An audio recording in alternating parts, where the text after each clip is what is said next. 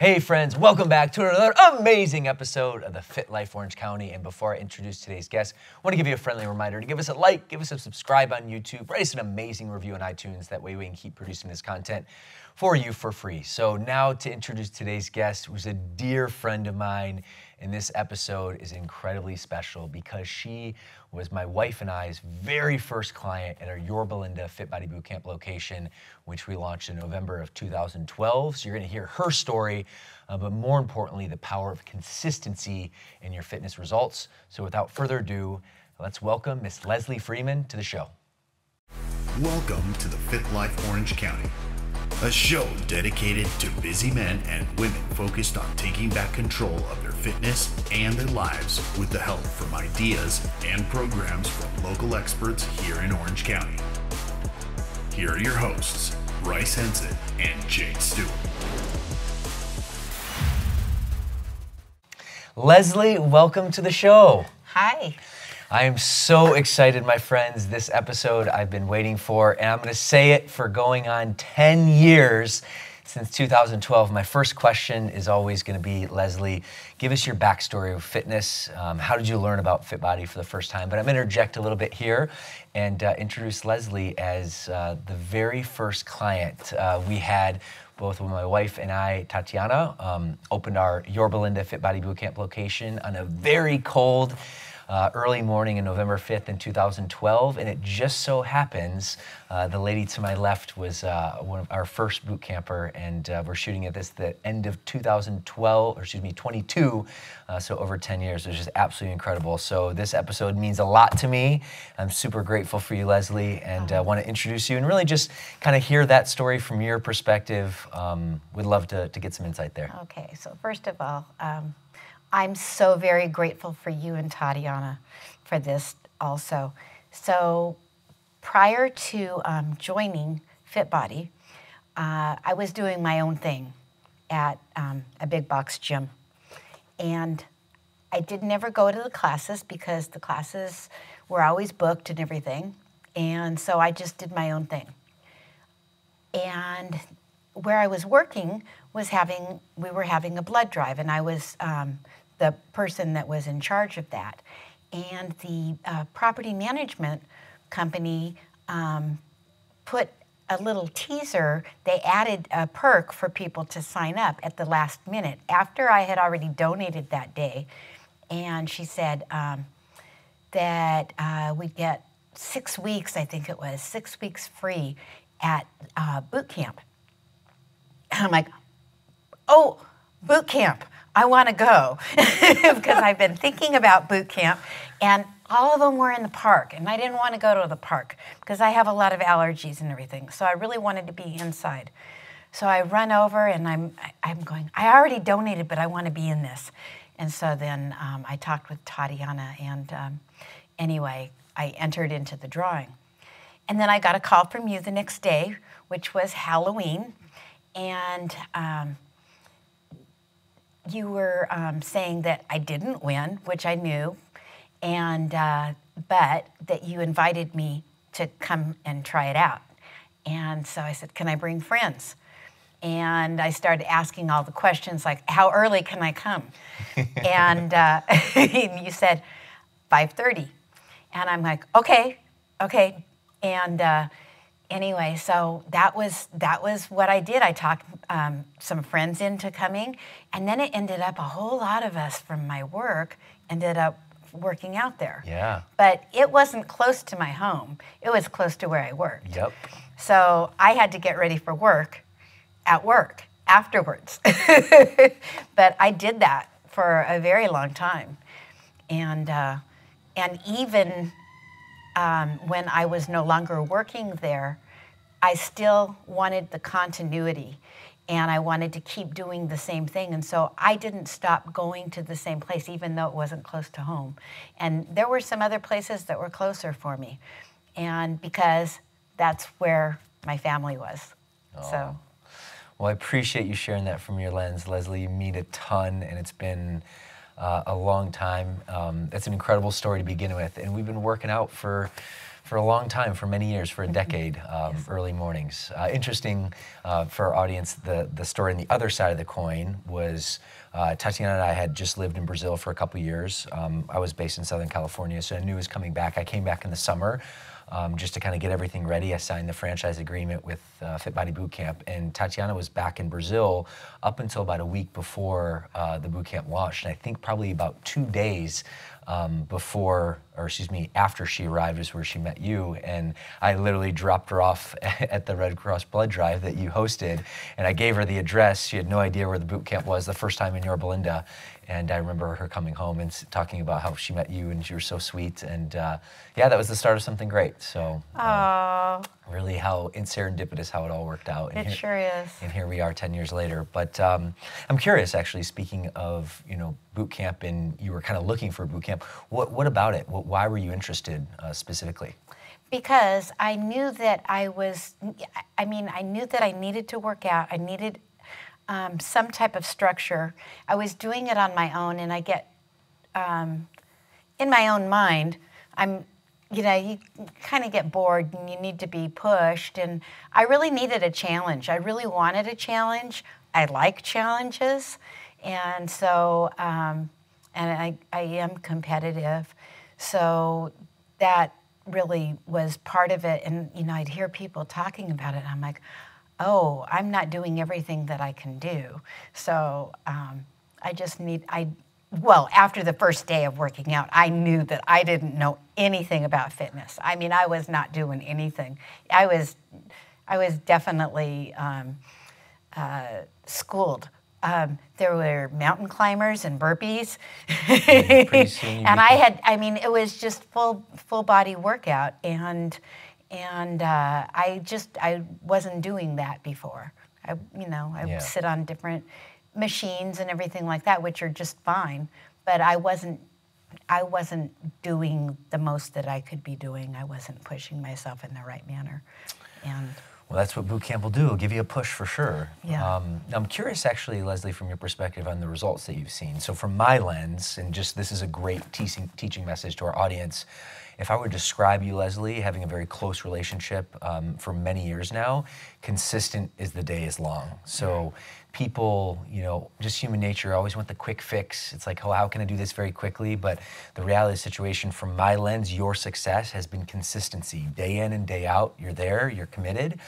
Um, and from a, a result perspective, um, you've always had a tiny frame. You've definitely developed a lot of muscle and very, uh, you've, you become very toned throughout the course of the year, years. But from your perspective, what's the biggest results, both physically, I guess, but also too, um, you know, additionally, maybe mentally or some other results that you've you know, achieved uh, by being part of the program? Okay, well, I think that anyone that knew me 10 years ago would say that my confidence level in public with other people, because I'm, I've always been so, I mean, it always seemed like I was introverted, so I do things on my own. I was, you know, but this has changed it. Um, I have a family, I have a fitness family, and that's where it's different. We're all kind of in it together, and uh, it, it's just a completely different perspective. Yeah, So, completely different than fitness, yeah. really. Now, walk us through, um, because human nature, we all have concerns, hesitancies, and, and whatnot. That's just part of who we are as humans. Uh, certainly, when you learned about boot camp and the, the raffle and the giveaway, you had a level of excitement because you needed you need some sort of push. But what were your some of your concerns, maybe if you can think back? And that's important because someone listening to this or watching this probably has some concerns about joining a program if they haven't done so already. Um, mine, mine was the affordability, but um, you know, I it was my priority. It became my priority immediately, and I found that I really needed to be there, and I needed to be pushing myself and doing that. And I was feeling so. I mean, I already felt pretty good, but I felt so much better. And and the little little wins that I was making as I would see, you know, I'd be challenged with something new, and just um, becoming stronger, and uh, the breathing part, because I have asthma, and I just I was able to breathe a whole lot. I mean, I was able to do a lot more cardio than I had in the past, and that was really something. Oh yeah. How about uh, the other aspect of the program? And it's interesting you talked about the confidence in terms of like social in front of people Mm-hmm. um, because when i my viewpoint of view and granted it's just seeing the evolution like you're a social butterfly you have amazing amount of friends and relationships uh, one of the things that we pride ourselves in fit body is like the community and the relationships and i've certainly seen you you know latch on and really be a, a big part of, of your experience. So can you talk a little bit about some of the friendships that you've gained over the years and how oh they've served you to- today? Oh my goodness. Um, it's it's amazing um, how how many wonderful wonderful relationships have been built and maybe we might not be in the same place anymore. We might be in different locations and everything. But i've got some lifelong very strong friends now friendships that have been built. And that would have never happened before. So we do things outside of boot camp at times, not a whole lot, but sometimes. And uh, we're always, you know, messaging each other. So we're kind of together like that. And it's just, um, we're just very supportive of each other. So, you know, life throws a whole lot of stuff to you, at you. And uh, so my day is I go to boot camp and I'm not doing anything like that anymore during the day. I'm doing a lot of other things. And through all those things is um, I'm able to face everything else because I'm feeling better. Meaning, And- like the workout sets the tone for your day, and Yes, then from there, everything becomes Absolutely. better. Absolutely. Yeah. Absolutely. Now, talk about um, some of the challenges, because certainly, let's face it, to your point, life throws a lot at all of us, right? Challenges. Um, and certainly, working out and living a healthy lifestyle is challenging. Um, but you can also pick your hard because if you choose the, the easy path at first, you don't work out, you don't invest in yourself, then other things become hard. Or you can choose your hard first and get up and exercise and things become easier. But it's still hard at the beginning. What would you say is probably the biggest challenge of um, the workouts, the, the lifestyle, um, you know, boot camp in general? I would love to be able to kind of get some perspective for our audience. Well, uh, you have to be very intentional about what's the most important to you. And so I know that if I miss a workout in early and I don't get there, then I'm not feeling as well. But I always feel so much better after I've worked out. So the challenge is making the time and setting the time and making sure that I'm able to get up at the right time to do that. And um, Because you're an early riser, right? So what time do you usually go to bed? I'm curious to be able to provide some coaching to our audience. what time I go to bed and what time I should go to bed are two different stories. Okay. So, um, yeah. Uh, if I could, I would be asleep before 9:30, but that's no, that hasn't happened in a while. That's the target. Yeah, yeah. So it About doesn't happen. What time do you wake up? It has to be somewhere yeah, between 4.30ish. Yeah, it's 4:30. Okay. Yeah. So Um, snooze is very enticing. Well, 4.30 comes early. Yeah, it is, and and you know it, it does, and then but it's kind of like um, it's almost like a cup of coffee in the morning. Oh, yeah. It really is once you get going, and uh, What about uh, some of the unexpected benefits of, of working out? Because people, you know, typically when they know they need to change, and specifically from a fitness perspective, most times it's I need to feel better, I need to look better, I need to lose weight. Um, but there's also, especially with our community, there's also a lot of other benefits um, to working out um, that probably don't meet the eye at first. So, from your lens, if you kind of think back at your um, fitness uh, prowess since 2012, um, what's been probably a big benefit that's been unexpected throughout the process? I would say the relationships is is I, I would say the relationships, and uh, it, it's it's just incredible. So um, relationships, confidence, mm. um, competence. Um, my health, you know, of course. Yeah. But how about um, you know goal setting is really important, and as this is uh, being released in early 2023, uh, people are going to have their New Year's resolutions and want to be a better version of themselves. Um, I'm curious, like, on how you've planned your goals throughout the, the, the course of the years, and specifically, what's your big fitness goal for 2023? You know, I'm not so young anymore, but I want to at least maintain the level that I'm at to um, to stay as strong as I am and to keep pushing. Um, uh, I have um, so so what what are the biggest goals?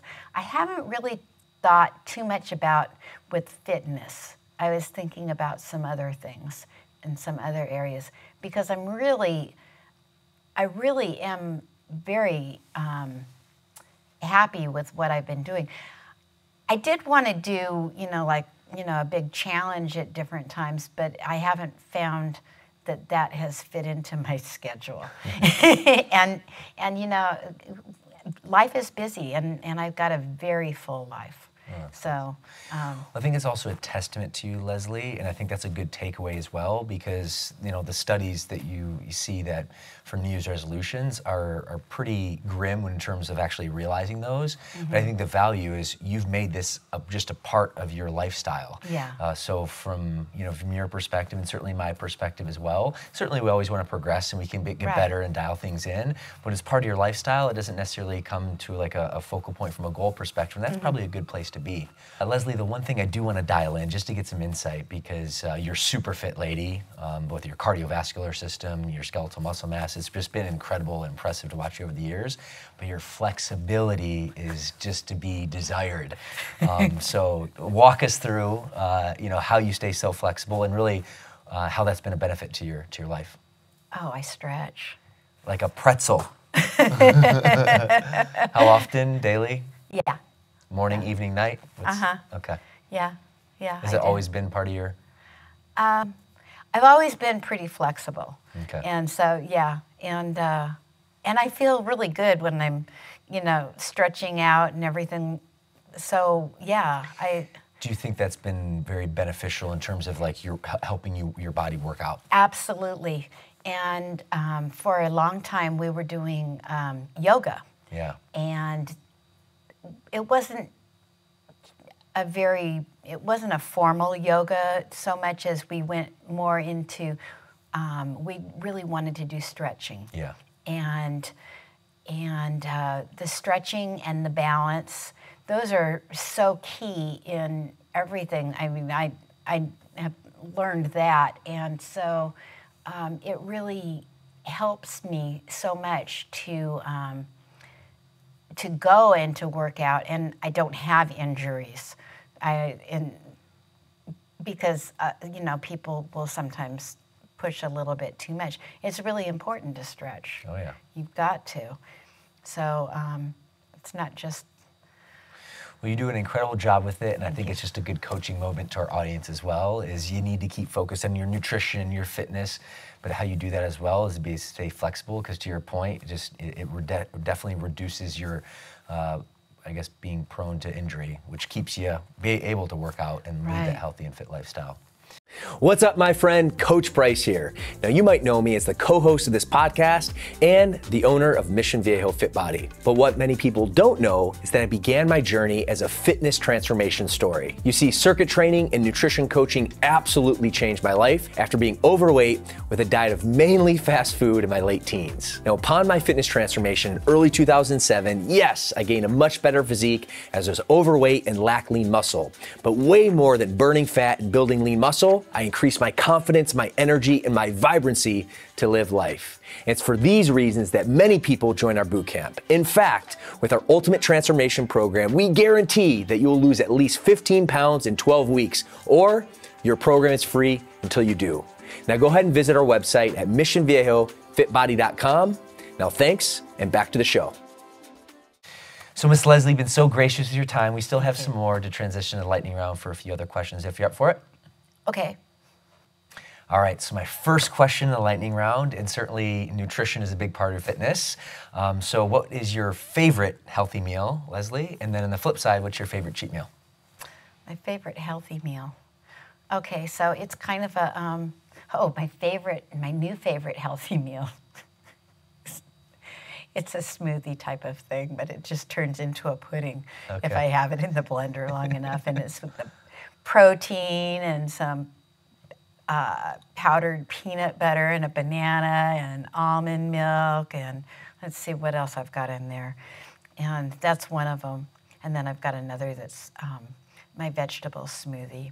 And that one, I absolutely, that one's got ginger and beets and blueberries and pear and oh, that's good for the body. Yeah, yeah. So those are those are my really really th- those are really really um, strong. They're an easy meal for me to get down. I don't have to worry about it. I just do it and I've got it and it tastes good to me and um, off you go. And I feel good. What about the flip side? What's your guilty, I guess, uh, pleasure? Okay, so um, I love sweets. I really do love sweets. I love ice cream. Absolutely love ice cream. well, you and me both. I have a sweet tooth as well. So, um, but a meal, I like spicy and pizza and things like that. Um, but I'm not so much of a, a bread person. So there you go. What about back to boot camp? Uh, and I'm dying to actually know your, your answer because I actually have no idea. But what would you say is one of your favorite exercises at boot camp? And then what is an exercise that you like to avoid like the plague? Okay. Um, well, it is uh, my, my favorite exercise is burpees, I think and that's something that has developed um, because I just think that they're they've become easy, and I know that when I'm doing them that they're good for me. So okay. I I like them, but um, I so those are probably probably one of my favorites. Uh, one of my least favorites are hmm, I don't really care so much for wall balls. Mm. Um, what else don't I care for? Hmm. There's some other ones, but I think I think that's one of them. Pretty solid. I love me uh, a burpee for sure, and then I'm not a huge, huge fan of wall balls as well. So kindred spirits. um, this is a, also a local health and fitness show, so I got a few questions that aren't necessarily geared okay. towards health and fitness, but. Uh, you're from, or at least have spent a long time in, in Orange County, North Orange County, in Orange. But mm-hmm. um, aside from uh, the gym, where is uh, one, uh, where can we find you hanging out, or one of your uh, favorite places to relax in Orange County? Uh, relax, or well, I love the beach. Love to go to the beach. I don't get to do it so much, but. Um, uh, well, you do for our beach boot camp on an annual basis every yes, August. Yes, I do. That's not relaxing. it is definitely not relaxing. And, um, and uh, let's see so relaxing. Well, one of the places I like to go for fun, it's not necessarily relaxing, is um, I like to go roller skating with a group of friends that, that I've met from boot camp over the years, and we we some of us ball. get together, and yes, we do. We go out roller skating, so yeah. I do that when I can. Oh, that's and awesome. That's super fun. How about outside Orange County? What's one of your favorite places to travel? Oh, okay. Um, uh, I recently went back east with um, my child. My um, my son took me, and we went to um, we went to Niagara Falls. Oh, wow. And we went all over, and, and we just walked all over the place. And we ended up in Boston. So a lot of walking cities, and it was it was just super super awesome. So I think that's where I like to go, is where I can go someplace and learn about another place, another, you know, someone else's home and just become um, acclimated to that and walk around. But definitely, you know, I like the walking cities and, and that. The active lifestyle. Yeah. How about uh, favorite song or band? Oh, well, I've got a few. I just recently saw Elton John in concert. Ooh, this is his final tour, isn't it? Yeah, it was. It was awesome. Oh, cool. And so all of those songs were my favorites. but I'm also um, I'm a huge Eagles fan. I'm a huge Journey fan. I went and saw Journey in concert not too long ago. So um, I love music. So Cool. Um, last question, lightning round. Uh, Okay. what's your favorite holiday? oh, I think it's Thanksgiving. Cool. Me too. All right, Miss Leslie, I have two final questions more on the health and fitness side to kind of bring us home today. And the last one is really, or the second to last one, is a parting piece of wisdom. So um, there's definitely an audience member listening to this, maybe watching this, that they know they need to change. They need some sort of, you know, uh, boost in their health and fitness. Um, but for whatever reason, just human nature, there's a concern, there's a hesitancy. What would you say to that person? Oh, um, try it out, but do it for more than a couple of times. Set aside a time, intentionally schedule it in so that it's something that's doable, and make sure that you don't get, um, you know, waylaid by, you know, and have something else come up. But intentionally set aside time to do it, and it's really not very long. It's only 30 minutes of exercise, so take out that time, you know, to get to and from and and carve it out and just make it part of your lifestyle for a little bit, and you'll find that it's something that you don't want to do without. Love it. Last question for today, which the name of our podcast is the Fit Life Orange County. So, for you, Leslie, what does it mean uh, to live a fit life? Well, I, I don't necessarily think about it as living a fit life. So I do the things that I know that are good for me, and I've set them up in my schedule.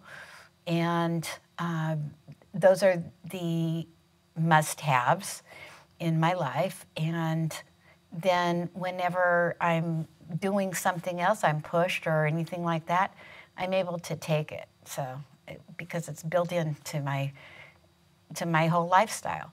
So, That is a great parting message because that's really what this is about. It's about making not a quick fix, but really a lifestyle this all so that way we can inspire more fitness, change more lives, which is really our mission here at the show.